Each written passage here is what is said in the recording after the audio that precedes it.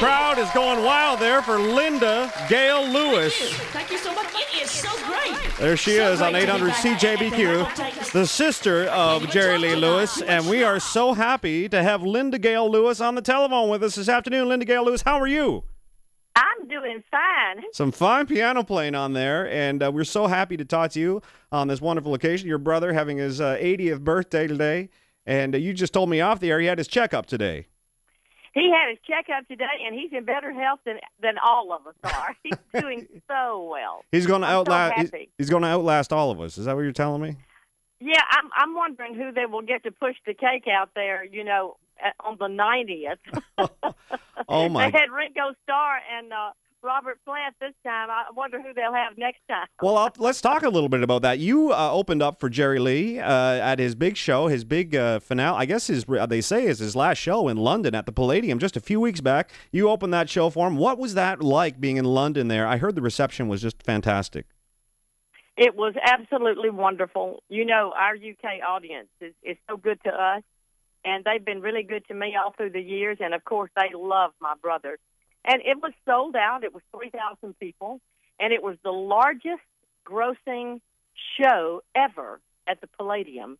And also, they put him in the Hall of Fame at the Palladium alongside uh, Judy Garland and others. Oh my goodness, what an honor that is! Terrific. And he had Ringo Starr and Robert Plant to push his cake out. I know the, the all the stars came out to celebrate Jerry Lee's 80th in London. Yeah, I saw Ringo was there, Robert Plant was there. I mean, all the big rock and rollers, and they. I mean, he's so well loved in in in uh, London, isn't he?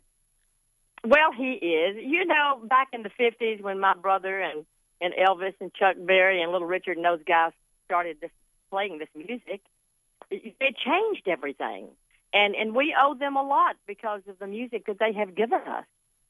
Absolutely. And uh, now I, I know after that you you just got back from Europe yourself. You're playing all over Europe. You were in Norway not long ago, weren't you?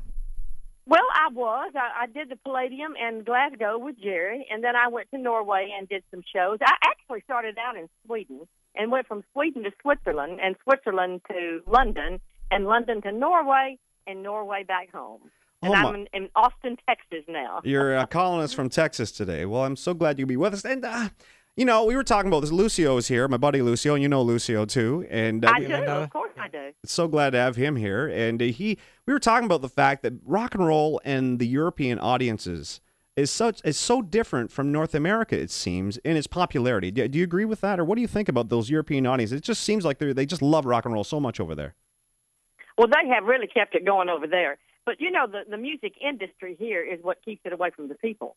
The people here absolutely love it. it it's like when I played Jerry's club on his uh, at his birthday party. Mhm. It was a little bit before his birthday. It was Saturday night, Yeah. and the audience there. It, I know there was probably it was probably ten or twenty percent European, but the rest of them were Americans. And they do love rock and roll music when they can hear it and when they can get it. But the music industry here hasn't been so good about promoting this wonderful music. And and you know, it's a treasure. It's a national treasure. Uh, that's it how- started yeah. here in Memphis. Absolutely, it's it's and you know I, I think radio is part of the problem too. I mean we have we are celebrating uh, this music today, and we do every day uh, here in Canada on this particular program, and we're devoting the entire show to the, to the Jerry Lee today. But there's very very few radio stations now are playing this music anymore too. Oh, I know. Thank God for you, Freddy, and thank God for you know my friend James Riley. It's guys like you that are putting it out there for people to hear it, and and we need that. We need a lot of that. Well, I thank you, and you know, well, let's go back now. Jerry Lee's 80th birthday, and I, I, first of all, I want to say you're his much younger sister. That's a fact, right? I Oh, mean- not that much. Twelve years.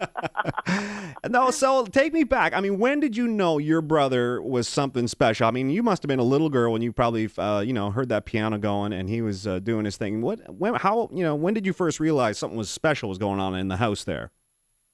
It, it was part of my life, and and I love you know I love my brother so much, and he was always so good to me. He would put me up in his lap, and and I'd play the Tennessee Waltz on the black notes. He took up a lot of time with me, and then as, as I got older, uh, he would teach me and show me things, and I went on the road with him when I was just fourteen, Mm-hmm. and and I knew that there was something going on when. When he his first record came out, that was exciting. That was Crazy Arms. We were excited about that. Yeah. But when we went to my aunt Stella's house to watch him on the Steve Allen show, hmm that was really that was really something. Yeah. And I think even though I was only ten years old, I, I had the feeling things are changing. And then of course, when Jerry got his first check from Sam Phillips, the first thing he did was call up my mother and say, "Mama, I want you and Daddy and Linda Gail and Frankie Jean to have everything that I have." And he bought us a brand new house in town, one with the toilet on the inside, which was much better. Wow. And he bought us a brand new Fleetwood Cadillac car. He gave my mama a thousand dollars to take me and Frankie Jean shopping. And our lives from then on was very different. And have been have been ever since, pretty much, hasn't it? Well, you know, my brother has taken care of everybody, and of course, I work a lot now, and but he still helps me. Uh, His name has helped me so much. You know, when I started my solo career, Sure. I was 40 years old, and I couldn't have done that if I hadn't been Jerry's sister. His fans have come out and supported me and helped me start my career, and I am so grateful to them. Well, and I love every one of them. I mean, you have a talent under yourself, though. I mean, you are such a great piano player, and you have. I mean, I think you and your brother are both so underrated as country singers. You have the most beautiful voice, uh, and your country material is so good. Uh, I just, I just love your voice. Fantastic. Well, thank you so much. And and you know, my brother's voice for the his phrasing for the country music Mhm. is so uh, unbelievable. He is so fantastic when he is singing a country song. It just goes right straight through to your heart. Exactly, and you know, and it's because of that piano. He's so darn good on that piano. Sometimes people forget, I think, how great of a country singer and, and vocalist in general that he really is with that wonderful well, and music. he and he played some stuff on that Country Hall of Fame, Volume One and Volume 2 hmm That is the most amazing piano solos you will ever hear in your life. It's like classical piano played in a country way. I mean, it's like little trills and things like you hear in a Mozart sonata. It's it is really and truly amazing. And every one of those songs that he recorded, he recorded them and made them better, in my humble Yeah, opinion. well, he makes it his and I can yeah. say that as a Jerry Lewis fan. I just have to say that. Well, let's talk a little bit about the piano. I mean, is there something in the water in Ferriday? I mean, how in the world? Like you have Jerry Lee, J- Mickey Gilley, Jimmy Swaggart, and yourself. I mean, all. Uh, in my opinion, monster boogie woogie piano players. How? What Well, is it? you. What is it with that family? did you just think everybody on the street could play piano like you guys, or like how did that happen? Really? Well, you know, all, all, a lot of my cousins, you know, was Carl Glasscock was also a popular guy. I think he changed his name though to something else. Carl, uh, I can't remember now what his stage name was, but he was quite. He is, yeah, he was quite talented because he has passed away now. But uh, we've got cousins like David Beatty, who is a preacher, and Gerald Lewis. I mean, all of us have have talent in this family, Mhm. and of course, my brother is the only one of us who is a true genius. Mhm. But the rest of us are good and we can play. And I'm proud of that, that I can hang in there with the best of them, You but cer- I couldn't hang in there with Jerry Lee Lewis certainly. because he is the best. absolutely, absolutely. Well, and, and it's not uh, just uh, your generation, but now your daughter's in the business as well. Anne Marie, is that uh, she's with you uh, quite a bit, playing and singing? Oh, absolutely. Oh, she's so talented. And, you know, her new album will, will be out very soon. She has a new album coming out with her husband, Danny B. Harvey. Mm-hmm. Hey, and great then gal! Oh my gosh! She has another. Oh yeah, and then she has another album coming out uh, on Cleopatra. So yeah, she's doing really well. She was with me at the Palladium. Mm-hmm. Wow, terrific! What a thrill to have the family there, really, for that occasion.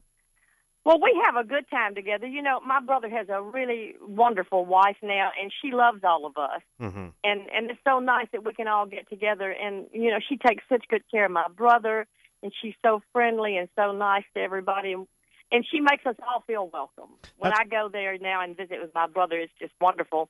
And then, of course, when I have my daughter with me, and Jerry has his son Lee with him, Mhm. like he did in London, it's just just like a family get together. No kidding. It- It's fantastic to be able to have a job where you can go and play music, which you love, and see your family. yeah, what a what a great occasion. Now you're hard working. Uh, actually, you're hard rocking. The latest album's called "Hard Rockin' Woman."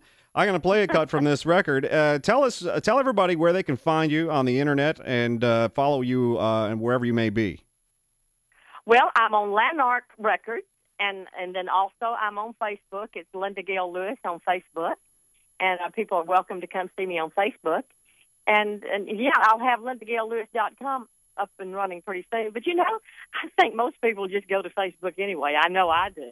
yeah, that's right. I've wasted more. there I've- all the time. Me too. I'm wasting uh, hours and hours on Facebook all the time. well, uh, thank you so much for joining us today. I don't know if you spoke to your brother today or not, but if you haven't, I hope you can wish him a happy 80th birthday from everybody here in Canada. We love him so much. Well, I'm going to talk to him in just a little while and tell him how happy I am about his test results, and I am going to give him your message, and also I'll say something about Lucio as well. Oh, isn't that nice? Well, Thanks, thanks, Linda. You're one in a million. It's a pleasure. It's so great. Well, we're going to end off things. We're going to play hard rock and uh, we're going to play a Hard Rockin' Woman. This is from your album here. What a great uh, record Oh, this is. I love that one. Thank you so much. My son-in-law wrote that. Very good. Uh, thank you so much for talking with us today. I appreciate it. Thank you, Freddy. Linda Gail Lewis on 800 CJBQ. Watch out.